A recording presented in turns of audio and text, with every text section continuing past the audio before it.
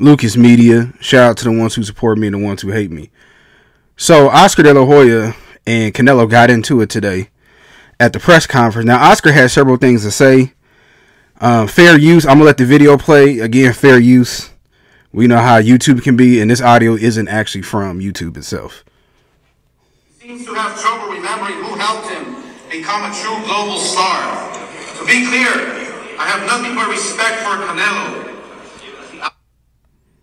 His record and abilities speak for themselves. That's true. He is a legend. Much of the last two months insulting me rather than promoting this fight. So I'll make it a little bit easier for him. Yes, I have faced a lot of challenges in my life. Yes, I've been to rehab several times. Yes.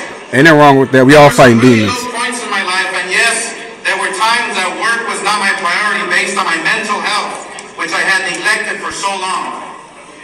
But that doesn't change the fact that Golden Boy built Canelo Alvarez, period. The company you fought under for, for, for decades has always had one name, and it's mine. So put some fucking respect on it.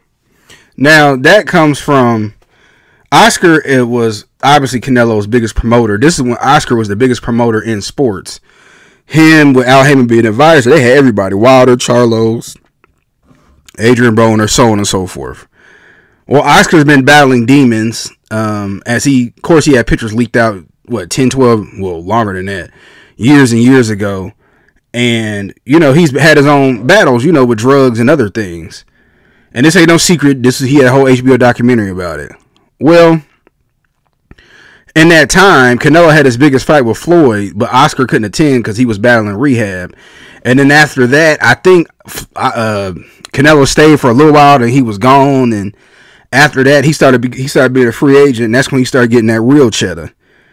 But um, Canelo's called Oscar like a basically a, a drug user, and he they don't really respect each other anymore or like each other.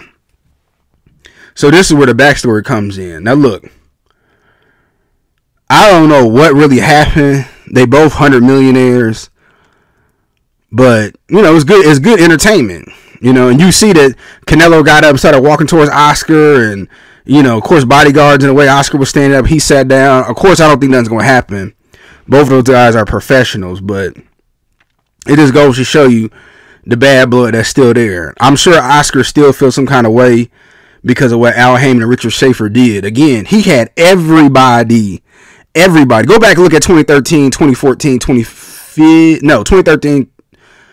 I would say what, between 2010 and 2013, 14, he had everybody was under Golden Boy.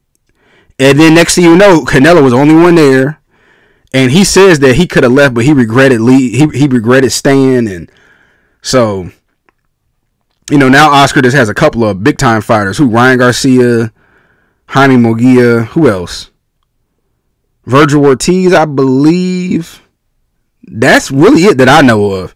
Let me know in the chat if it's more people, but you know they they know ain't nothing finna happen. You know what I'm saying? But it's definitely bad blood there. I'm sure they'll get past it at some point you know, but it's definitely some uh, unfinished business between them two. But hey, it's good entertainment. You know, the fight coming up.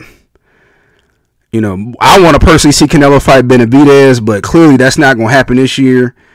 As Canelo told him, basically he going to have to wait his turn until I get ready.